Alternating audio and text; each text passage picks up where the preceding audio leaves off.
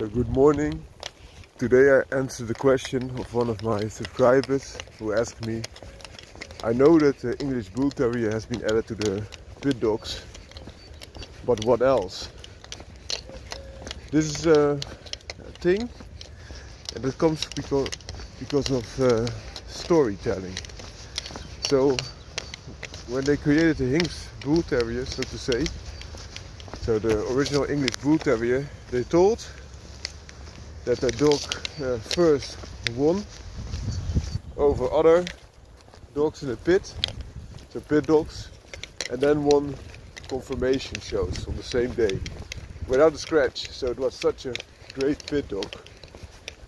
And they also wanted to create the image of a dog that had all the benefits of a pit dog. So also the boldness and the strength and tenacity. But was more of a beautiful white specimen. But this is untrue.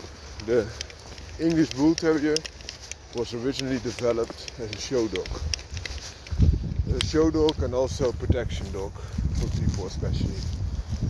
Whereas normally Bull and Terriers, where it was derived of, were more people friendly and dog aggressive Bull Terrier was a little bit different developed. So they used the Bull Terrier, but also the English White Terrier, which is one of the weakest terriers of all at that time and was not uh, good working at all. And some other breeds, such as for example Dalmatian, but they also said that the Borzoi, another running type of dog, was added. I don't know. The Borzoi has a has a down face a little bit like the the English Bull Terrier, but the English Bull Terrier of the past didn't have this clownesque down face that you see now in show dogs. So it is further deteriorated in functionality. That being said, Bull Terriers were also created by Bulldog blood, fighting Bulldog that is, and working terriers. So a little bit more terrier blood doesn't mean that it cannot perform, but it will perform less than the half and half bull and terriers it was derived of. And those bull and terriers also developed into a show breed, namely the Staffordshire Bull Terrier, because the Bull Terrier name was already fixated on this English Bull Terrier or the White Bull Terrier also known as the White Cavalier.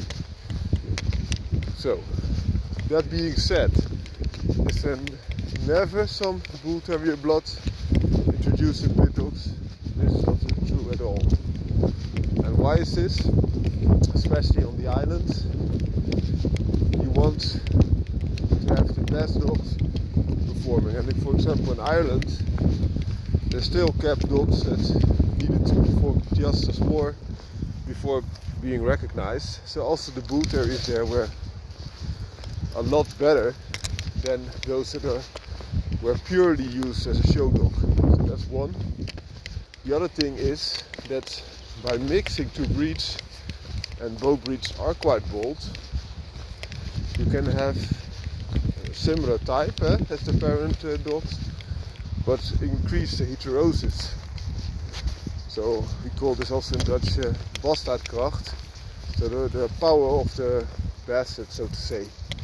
And those genes are then just uh, adding up and filling again the gaps that were were created by interbreeding or inbreeding a lot in the past.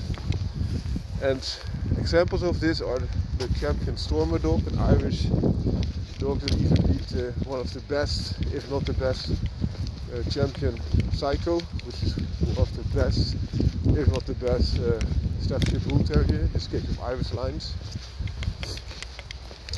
That in, in, uh, in order of performance and not show. So that gives you some examples, and also because the Bull uh, Terrier had uh, a lot of uh, illnesses, for example deafness, but also skin problems they bred in again the Staffordshire Bull Terrier to increase it's uh, yeah, it's vital components, and that's the reason why you now also see colored uh, English Bull Terriers. So also the English Bull Terrier has gained some uh, additional Staffordshire Bull Terrier blood along the line. So not only the Bull Terriers of the pits that they used, but also this new injection of blood. Those are some reasons. And also if you look in the American history, because we are we talked about the islands, that there are some that have uh, a little bit of uh, English Bull Terrier in their blood. Even the champion Psycho Dog had like I think 132 part of English Bull Terrier. But it was so much to lose, a lot different than the champion Stormy Dog. And if you look at those interbred dogs, uh, crossbred uh, performance Staffordshire Bull Terrier and performance Bull Terrier, they have a long snout and a little stop and have an enormous strong jaw very often. So that gives you some additional benefits also reach. Then back to the American uh, pit dogs. There are some breeders known that uh, created American Pit Terriers of game lines and also had quite a lot of appearance of the English Bull Terrier in it. And that was because some breeders bred both. So for example, American Pit Bull Terrier but also the English Bull Terrier. And those were then interbred, sometimes perhaps uh, an accident, but I can also imagine this is uh, done purposely because of the increase in heterosis. At this time and age, I don't think this is happening anymore, or very little, because um, yeah, has so much. So many different lines that you can outbred to. The world has become a lot uh, smaller, and uh, it's very easy to get access to other plots. Also, you could have uh, semen flown in from the other side of the world or just buy a, a dog from the other side of the world if needed to uh, bring in the best in your dogs. So that being said, there are also some uh, modern initiatives. For example, the Staffordshire, Staffordshire uh, Italiano, which is uh, carrying especially Staffordshire Bull Terrier blood but also some uh, English Bull Terrier bloods. So those are the two main sources of uh, genetic material. It's almost 50-50, but they also bred in a little bit of uh, American Pit Bull Terrier again. So a modern game dog instead of those um, game dogs of the past. So I hope this helps. Have a great day. Bye bye. Oh, the dog here on the leash is a Patterdale Terrier, so smaller terrier type.